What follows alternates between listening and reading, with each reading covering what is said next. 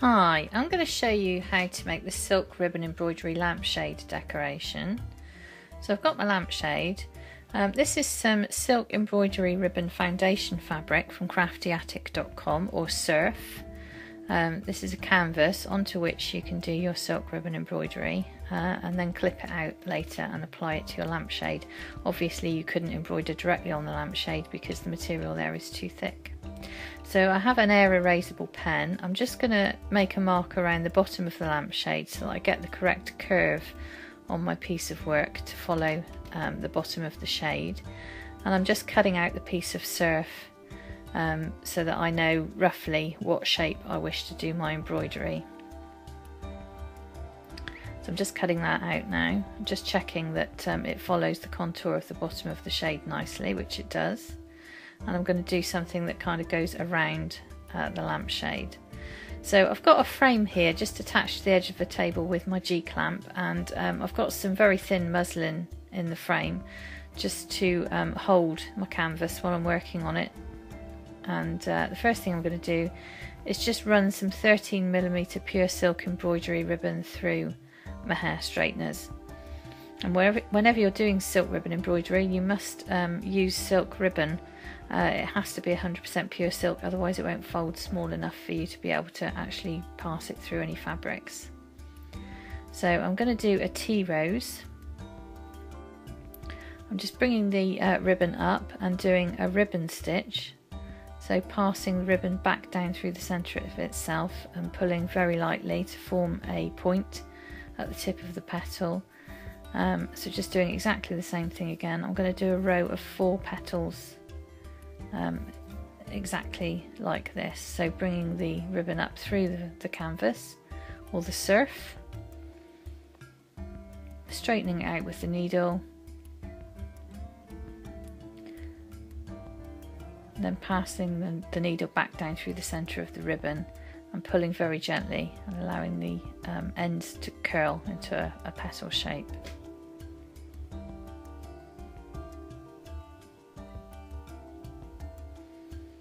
So this is a, a silk ribbon embroidery tea rose. There is another video um, detailing exactly how to do this one, maybe in a little bit of a clearer fashion.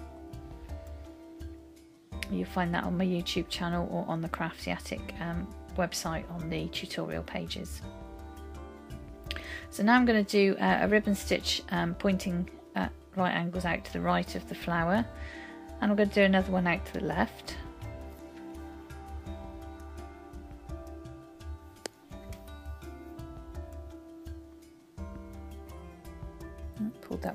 Too tight.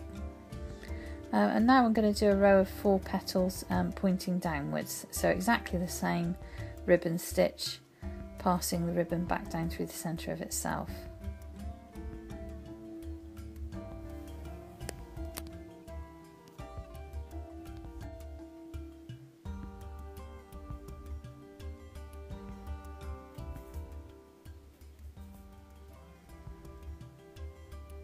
So my little bit of ribbon is getting a little bit uh, wrinkled now from being passed back down through the fabric.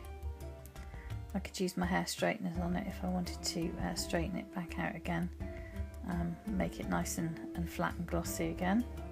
So I'm just going to use my mini straighteners. These are absolutely crucial for me. You can pick them up on eBay for about a pound, they're not expensive. So I'm just uh, now passing this ribbon back down through the centre of itself. So there's um, two of my sets of petals. I'm just now going to bring another row up through the tip of the bottom row of petals. Um, you might need to use a pair of pliers to pull this 13mm ribbon through your fabric. Um, might need a little tug. 13mm is quite a lot of ribbon to pass through a fabric.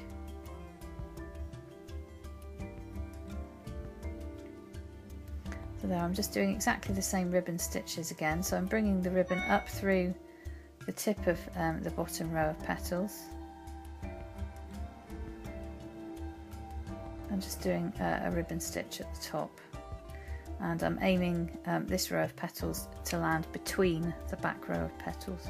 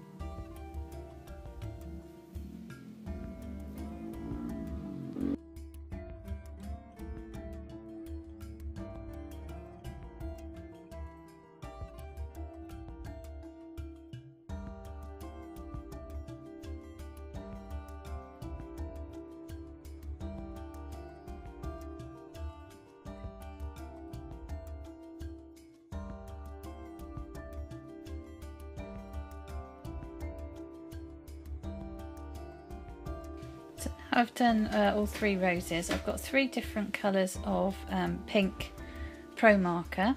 These are permanent um, marker pens. They don't fade, they don't bleed um, in, out into your backing fabrics. Um, they're marvellous things. So I'm going to actually now use the three different colours to colour each petal in a very natural way. So I've got um, lighter pink on the tips of the petals coming to a darker pink in the centre of the rose. These pens will blend beautifully together um, provided the um, ink is still wet so you want to only do a couple of petals at a time to um, allow the ink to stay nice and wet and bleed into uh, the other inks that you put on. So you can see now there I've got a beautiful effect on this rose. I'm going to do the same on the other two as well. So now I've finished with my rose, I'm going to do a little sprig of lavender. Um, this is very easy. This is some 2mm white silk embroidery ribbon. And I'm just twisting it to form a stem for my lavender. So just pass it back down through the, the mesh there. If you've twisted it, it will want to knot up. You just need to pull it tight before you pull it through. Um, so now I'm going to do some uh, French knots to form the head of the lavender. If you haven't done a French knot before, you need to bring the ribbon up through the fabric, twist it three times around your needle, then pass the needle back down through the fabric again. And that will form a little knot on the surface of the fabric. So once again, three times around the needle, pull it tight and then pass the needle back down through the fabric and you'll form a knot on the surface. I always think French knots look beautiful, they give a lovely texture to your work. So I've done uh, two French knots either side of the stalk there. I've just gone up about a centimetre to start the rest of the lavender head and I'm going to do three French knots on either side of the stalk to form the base of the head and then I'm going to work out in a triangular fashion towards the tip of the lavender.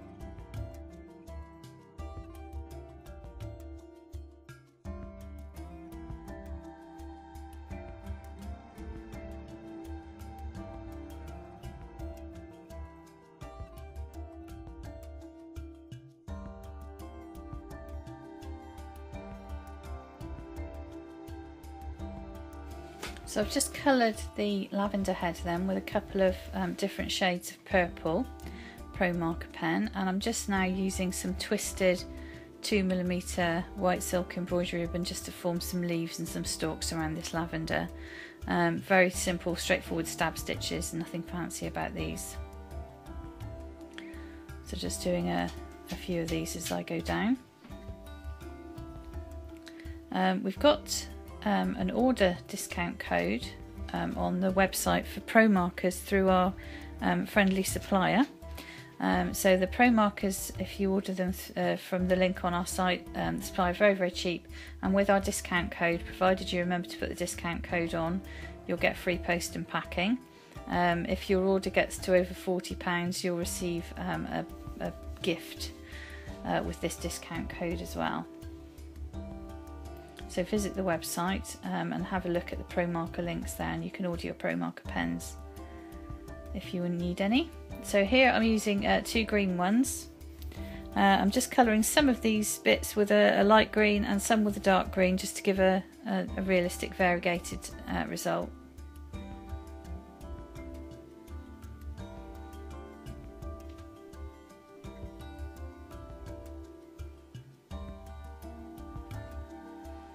So now I've got some 4mm um, white silk embroidery ribbon and I'm just making some, I'm going to turn these into little tiny blue forget-me-not type flowers um, just to fill in some of the background. So I'm just um, doing ribbon stitches out from a central point, um, making five or six petals, whatever will fit. I'm not being too worried about it. Just doing little um, star shapes really with the, silk ribbon. So I'm going to do a few of these little uh, flowers just to form the, the background. Carefully tucking underneath the rose petals where I need to.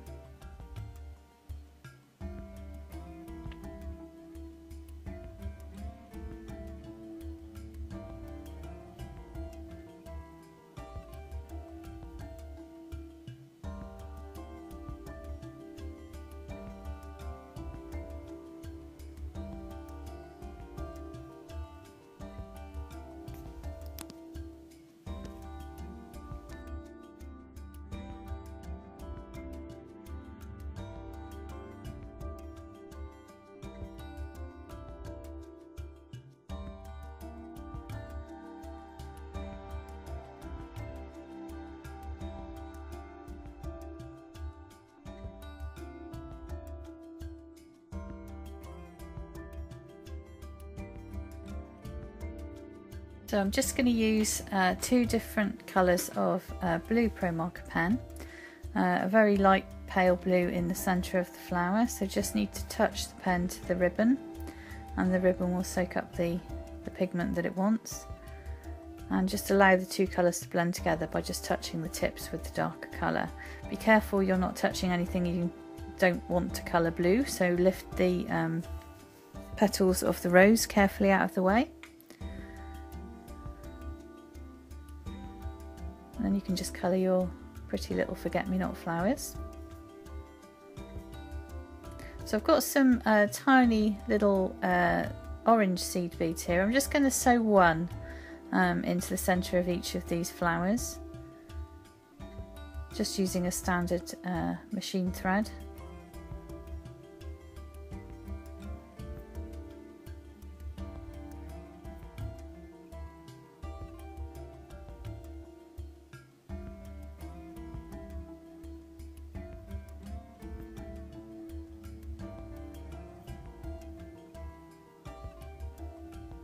So I've nearly got the centre of those flowers sorted.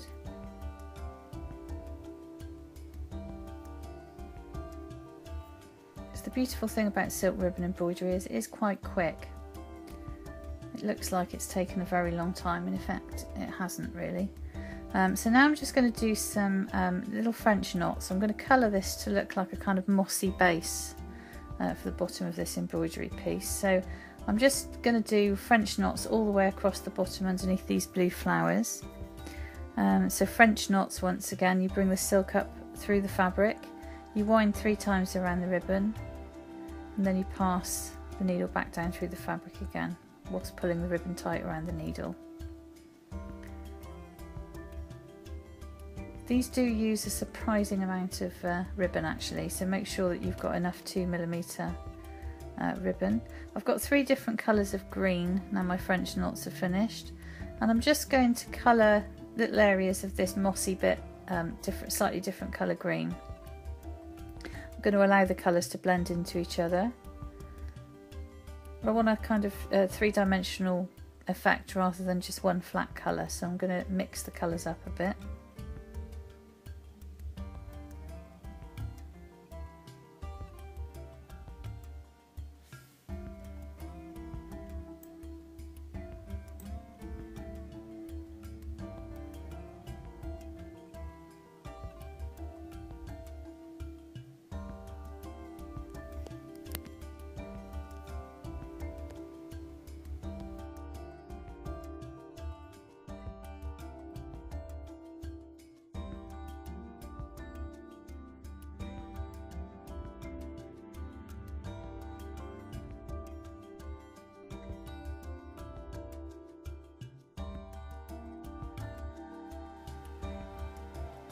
So there's our piece of embroidery so far. You see I've been working the other side as well so that we've got a nice symmetrical piece. I've now got some 13mm uh, white silk embroidery ribbon back on the needle and I'm just going to do a few ribbon stitches um, to form some leaves. So these are exactly the same stitches we did to form the petals of the rose. I'm just bringing them down from the centre of the rose here.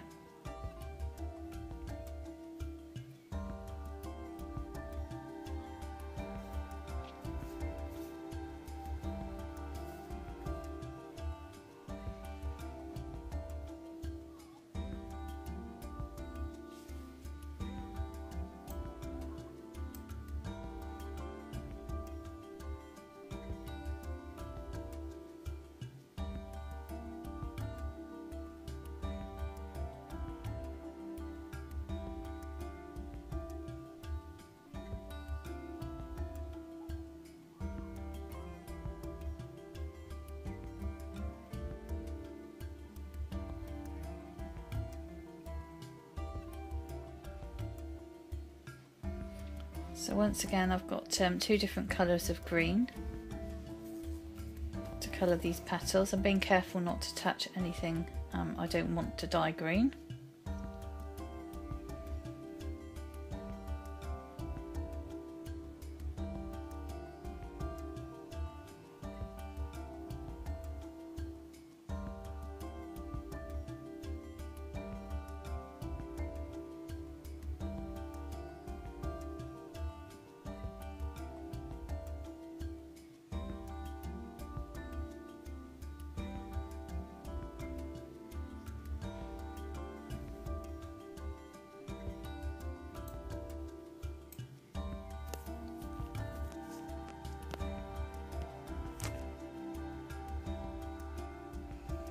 So now I'm just going to do uh, a few more French knots around the base of this flower to uh, form another mossy piece. So working French knots in between some of these petals to cover up the canvas.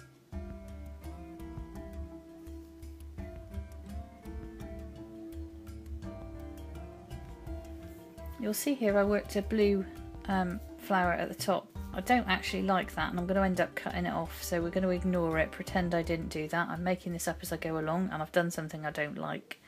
So now I'm just going to do some um, little blue forget-me-not flowers again at the tops of these uh, roses. So working these in exactly the same as we, we worked the previous ones.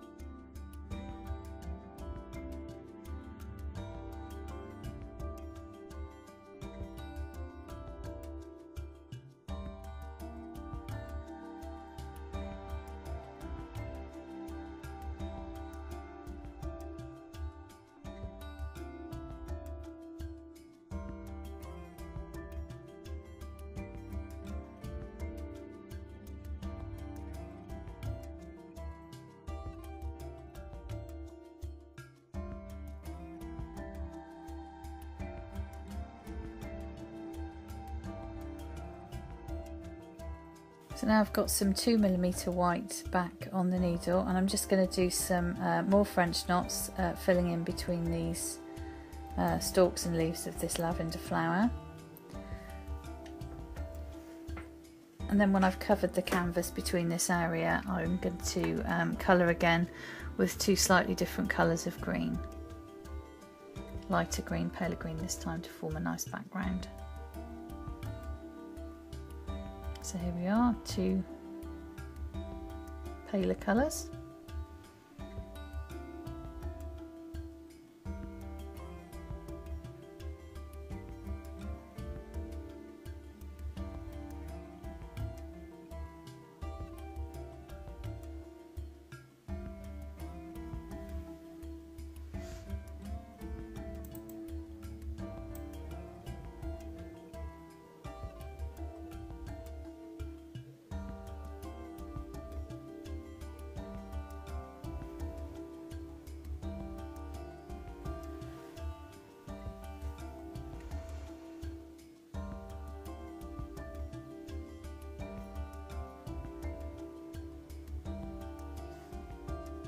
So there's my finished piece of work. I've just cut it off of the frame and now I'm going to use a pair of scissors to very carefully cut around the edges. I need to make sure I'm not cutting any of the stitches.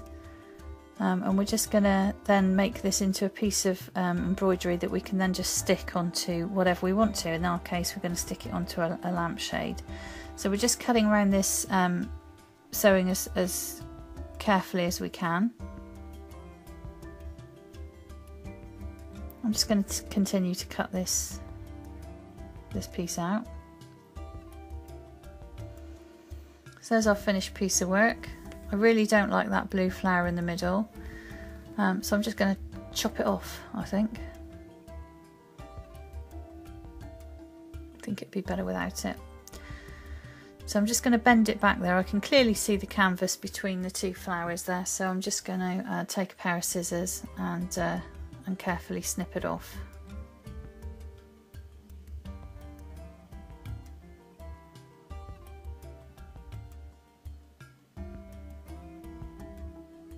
There, that's got rid of it. It's much better. So now I've got um, some hot glue. You can uh, use some wet glue if that's all you have, but you just need to make sure it doesn't come through onto the front of your work. I'm just going to now press it onto the lampshade where I wish it to sit. So that it, that's it, that's our, our lampshade finished. So we've got a beautiful piece of uh, silk ribbon embroidery now and we've applied it to the lampshade. It's all done. There you go. You can get all of the supplies needed um, from craftyattic.com. We sell the silk ribbon, we sell the surf and there's links there for you to get cheap pro marker pens. Thank you for watching.